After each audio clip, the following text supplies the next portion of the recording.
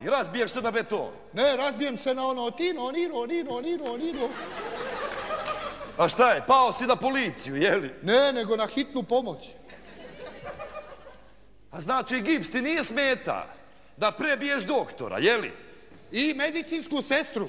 Stani jedan, stani, stani, kakav si ti to čovjek? Oni hoće da te pomognu, a ti ih mlatiš, jeli? Ko da mi pomogne? Pa oni, Ko bre da mi pomogne? doktor! Doktor da mi pomogne.